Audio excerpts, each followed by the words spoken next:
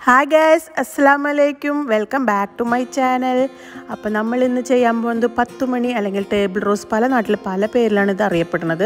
അപ്പോൾ അതിനെക്കുറിച്ചുള്ള കയറിങ് അതുപോലെ മഴക്കാലത്ത് അത് എങ്ങനെ കയർ ചെയ്യണം എന്നതിനൊക്കെ കുറിച്ചുള്ളതാണ്. പിന്നെ കൂടുതൽ എങ്ങനെ ഫ്ലവർ ഇതാക്കാം അതിനൊക്കെ കുറിച്ചുള്ള ഒരു വീഡിയോ ആയിട്ടാണ് നമ്മൾ വരുന്നത്.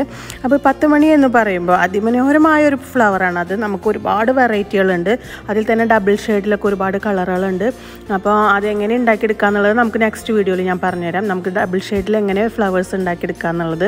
അപ്പോൾ ഈ വീഡിയോയിൽ പറഞ്ഞ കൂടുതൽ ലെങ്ത് ആവും അതുകൊണ്ട് പറയണില്ല. അപ്പോൾ ഇതിന് ഏറ്റവും അത്യാവശ്യമായിട്ടുള്ളത് നമുക്ക് സൂര്യപ്രകാശം നന്നായിട്ട് വേണം. വെള്ളം അധികം വേണ്ട. വെള്ളം അധികം ആയി കഴിഞ്ഞാൽ ഇതിന്റെ തണ്ടുകളൊക്കെ ഭയങ്കര സെൻസി സെൻസിറ്റീവ് ആണ്. അപ്പോൾ നമുക്ക് പെട്ടെന്ന് ചീഞ്ഞു പോകും. അപ്പോൾ അധികം വെള്ളം വേണ്ട.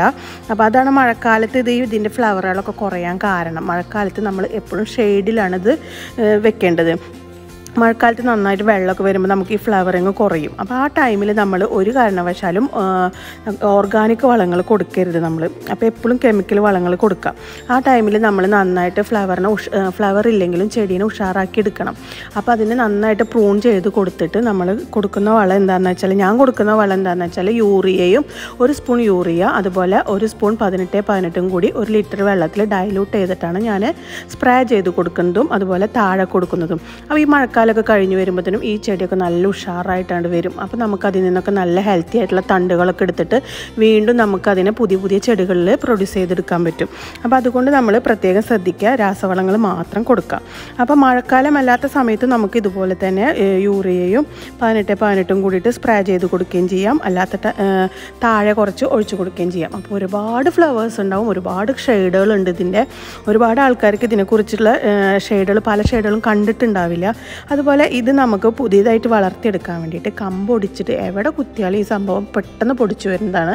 നന്നായിട്ട് പൊടിച്ചു വരും. അതുപോലെ വല്ലാതെ കയറിങ് ഒന്നും ഇതിന് വേണ്ട. എവിടെ കൊണ്ടുവച്ചാലും അത് പടർന്ന് പന്തലിക്കുന്ന പോലെ ഉണ്ടാവും. പക്ഷേ ഈ മഴക്കാലത്ത് മാത്രമാണ് ഇതിന്റെ പ്രശ്നങ്ങളൊക്കെ ഉള്ളത്. ഫംഗസ് കയറുന്നത് കൊണ്ടാണ് നമ്മൾ തണ്ടുകൾ ചെയ്യുന്നത് വെള്ളം കെടുക്കുമ്പോൾ ഫംഗസ് കൂടുതൽ വരും. അപ്പോൾ ഇത് കണ്ടില്ല? ഇതൊരു നല്ലൊരു ഷെയ്ഡാണ് ഒരു വെറൈറ്റി ടൈപ്പാണ് അതുള്ളത് അപ്പോൾ ഞാനിപ്പോൾ ഇത് അടുത്താണ് വാങ്ങിച്ചിട്ടുള്ളത്.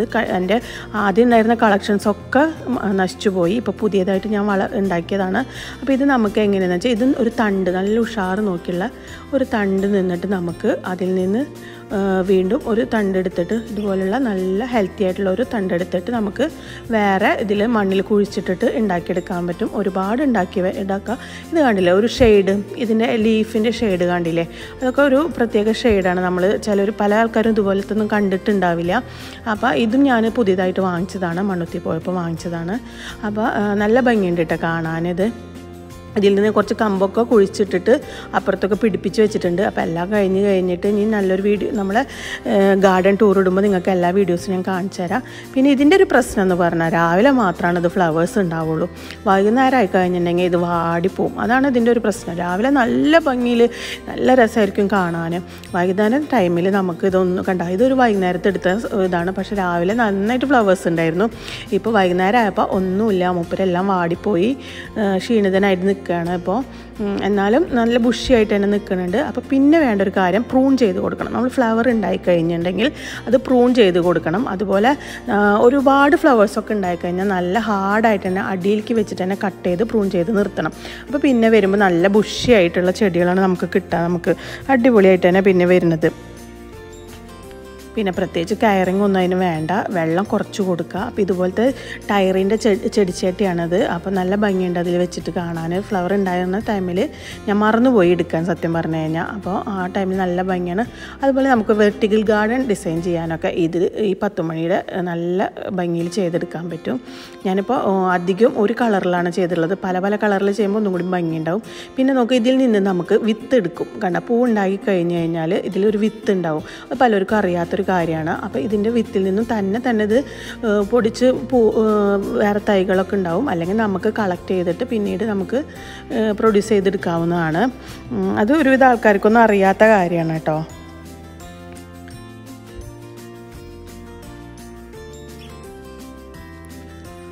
അപ്പോൾ പൂവിട്ട് കഴിഞ്ഞാൽ എപ്പോഴും ശ്രദ്ധിക്കുക. നമ്മൾ ജസ്റ്റ് ഒന്ന് നുള്ളി കൊടുത്ത് വിടാം. അപ്പോൾ പിന്നെ അടുത്ത ശിഖരങ്ങളൊക്കെ അതിൽ നിന്ന് പുതിയതായിട്ട് പൊട്ടി വരും. ഇത് ഞാനൊരു വൈകുന്നേരത്തെ എടുത്ത കാരണം ഫ്ലവേഴ്സ് ഇല്ല. രാവിലെ ആണെങ്കിൽ നന്നായിട്ട് ഫ്ലവേഴ്സ് ഉണ്ടാവും.